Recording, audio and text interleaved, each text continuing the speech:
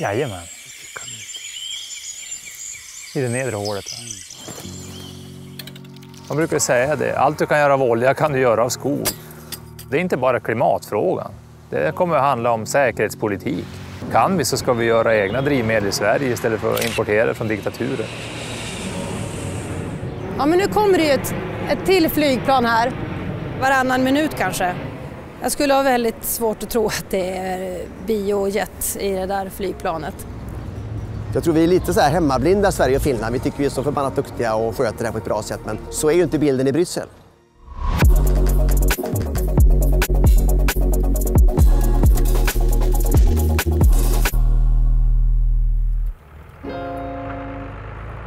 Skogen.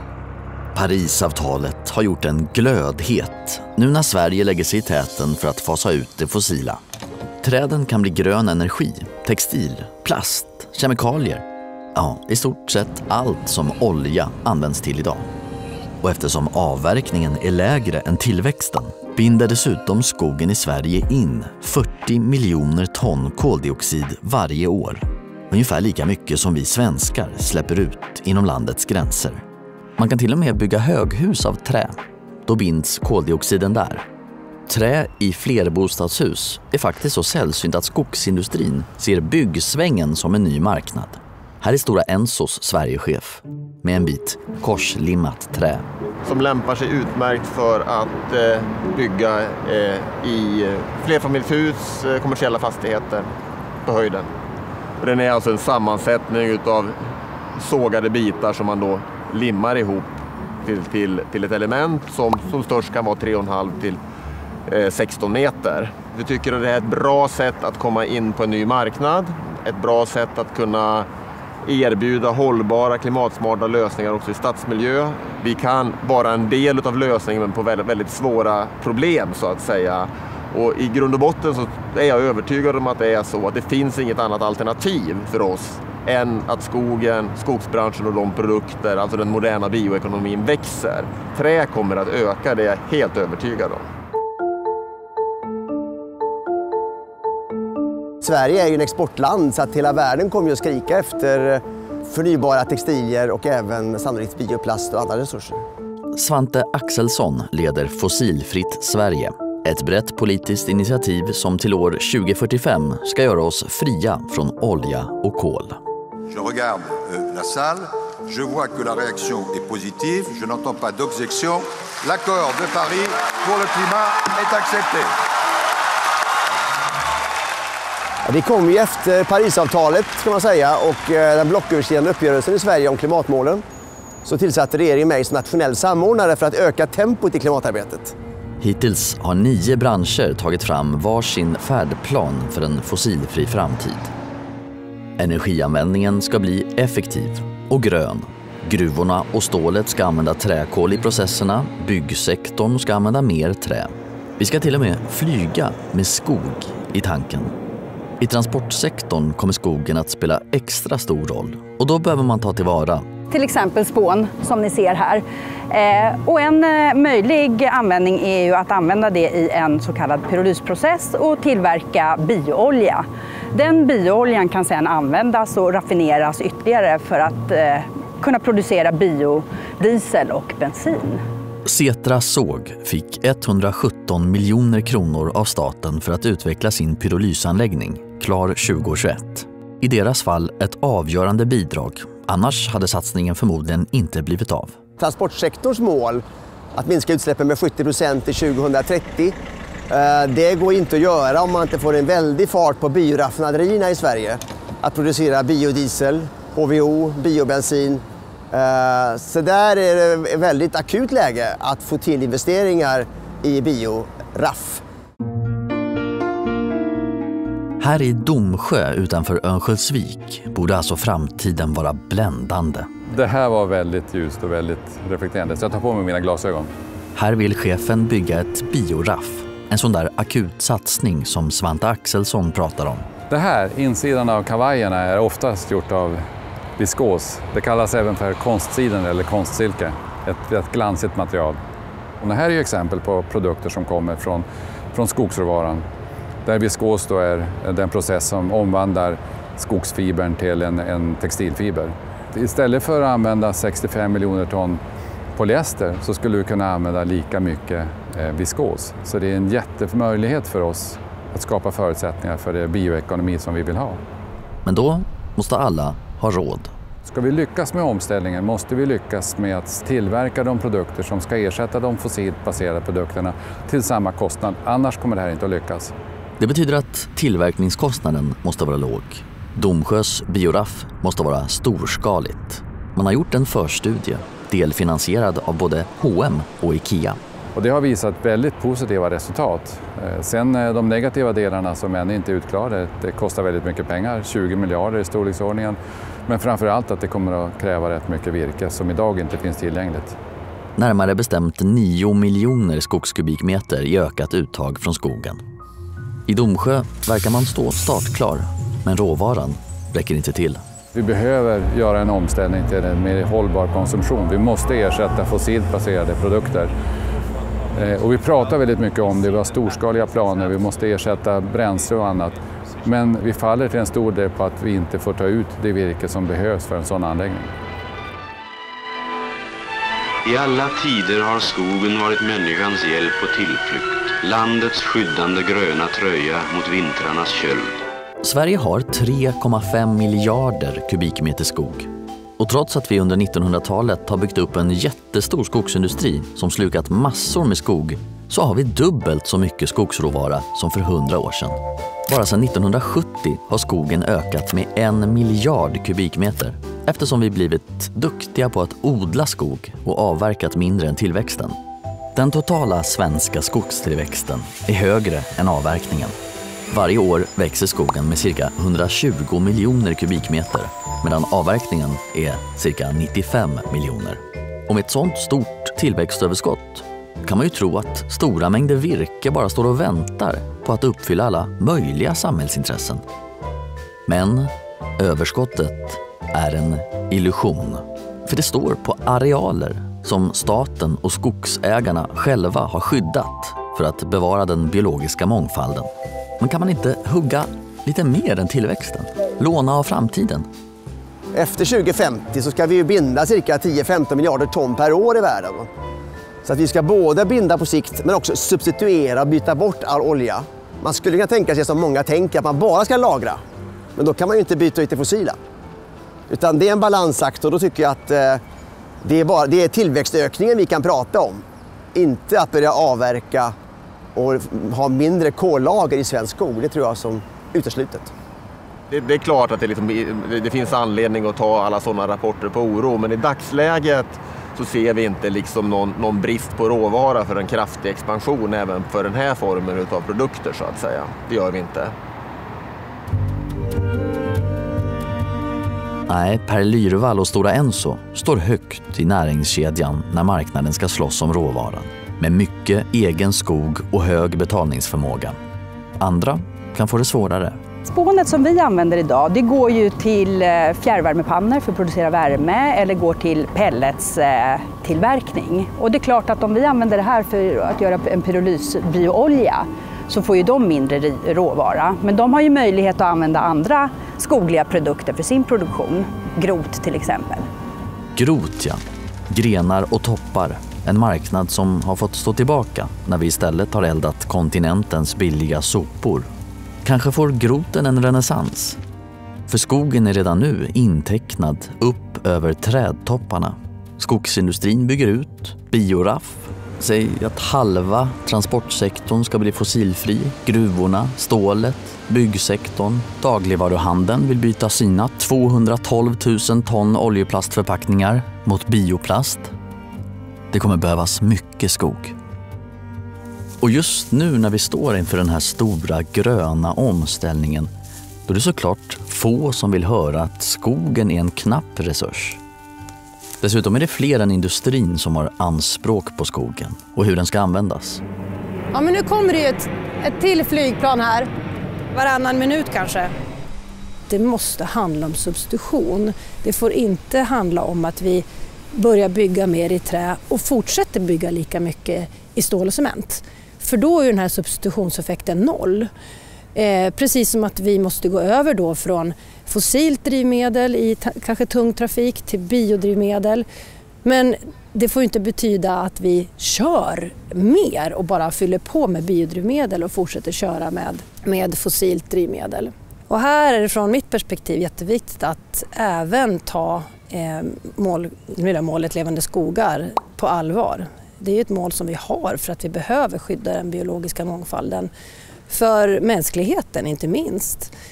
Att vi behöver friska ekosystem för att de ska förse oss med ekosystemtjänster som rent vatten, ren luft och den typen av tjänster som vi tar, för självklart idag. Jag tror vi är lite så här hemmablinda, Sverige och Finland. Vi tycker vi är så förbannat duktiga och sköter det här på ett bra sätt. Men så är ju inte bilden i Bryssel. Så det gäller ju att liksom balansera naturskyddsfrågan och biologiska mångfaldsmålen och uttaget av bränsle.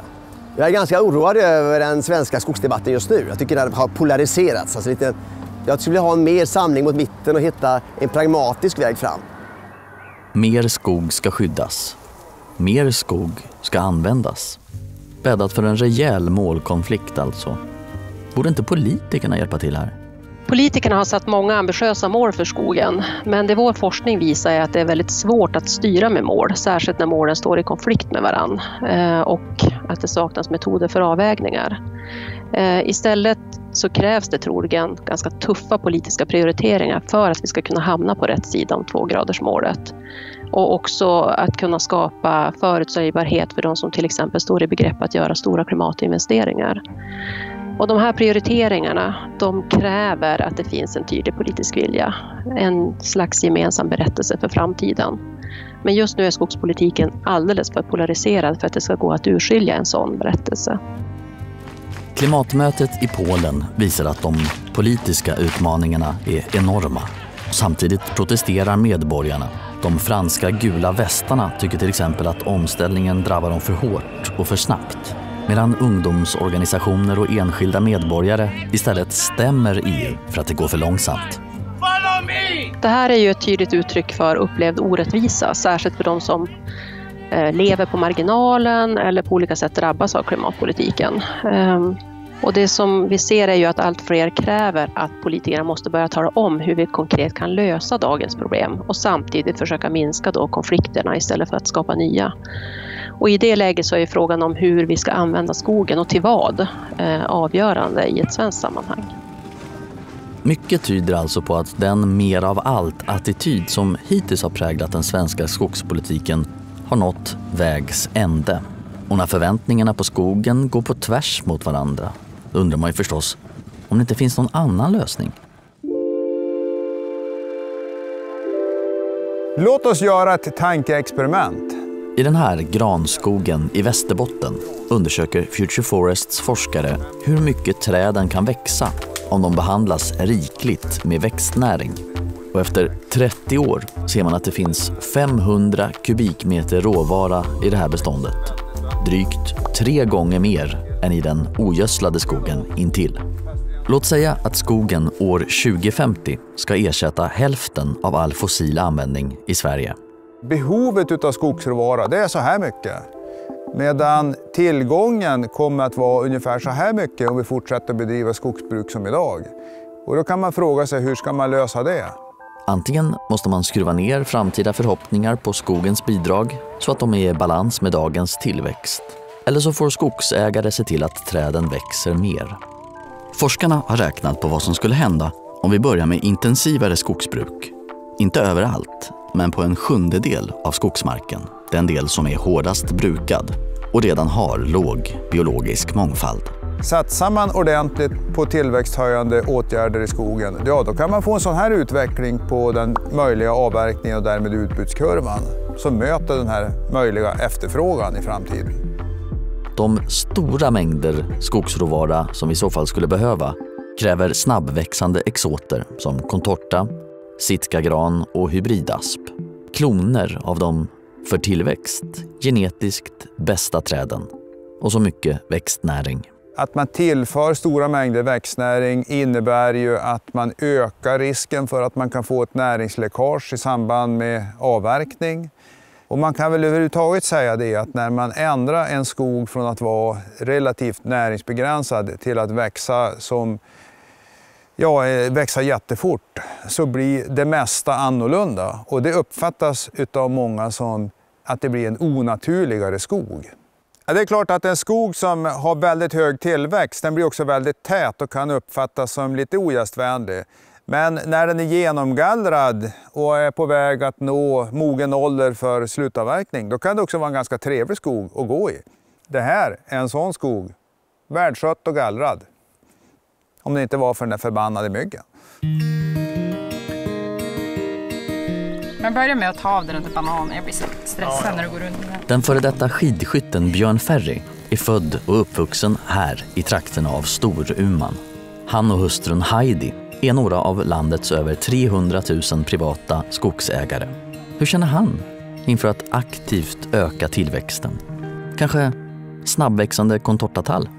Alltså contortan har ju dåligt rykte här uppe i, i Lappland. För den är så känslig för snöbrott och den har ofta haft dålig stamform så den är ganska utskälld. Den här marken hade egentligen, då skulle contorta producera i snitt 40 procent bättre än vanlig tall.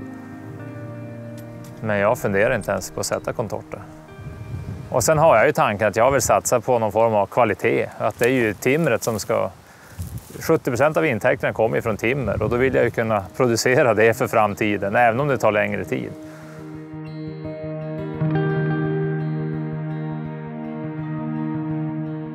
På mina Heidis fastigheter då tänker jag att då måste tillväxten överstiga avverkningarna.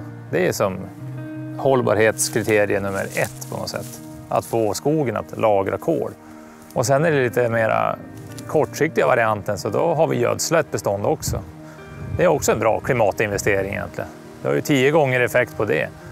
Så att gödsla de här slutavverkningsbestånden tio år innan, då lagrar du in kol och så får du ut mer förnyelsebar råvara som du kan ersätta fossila råvaror med. Riktigt kraftfullt. Huvudvärk på den? Ja, men de har ju någon inbyggd gyro i skallen så de klarar det där. Ah, ja. Jag lockar ut den med det här fågellätet från Fågelguidens fågelapp. Jajamän. I det nedre hålet. Mm.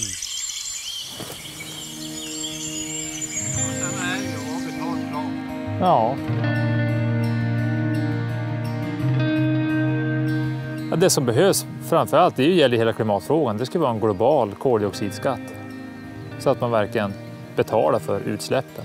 Det skulle gynna brukande av skog och även gödsling och sådana åtgärder. Det kan bli lite dyrare men på det stora hela så det är vårt sätt att konkurrera mot fossila bränslen. Men nu är det ju så i Sverige att vi avverkar ju redan hela tillväxten på den del av marken som vi brukar. Och om vi då ska öka avverkningen mer, ja då tar vi från Dante, min son och framtida generationer. Ja, då känner jag det här med tillväxt. Då, ja, då ska alla försöka göra mer. Då ska vi sätta snabbväxande trädslag, vi ska gödsla överallt och vi ska göra så mycket som möjligt. Men det handlar egentligen mer om att skaffa sig en större tvättkorg. Men förr eller senare blir den full och då har du bara ett större problem. Grunden är den att vi kan inte bli fler och fler och fler och fler i oändlighet. Planeten blir ju inte större. Så jag tror vi måste börja tänka om och se hållbarhet i ett bredare perspektiv och våga prata om de där större frågorna.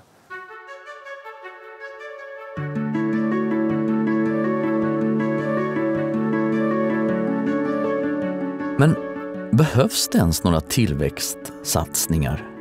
Det blir ju varmare, växtsäsongen blir längre och Skogsstyrelsen räknar i sin prognos med att skogen snart växer betydligt bättre en sanning som verkar omfamnas av alla inom skogsnäringen som vi har pratat med under arbetet med den här filmen.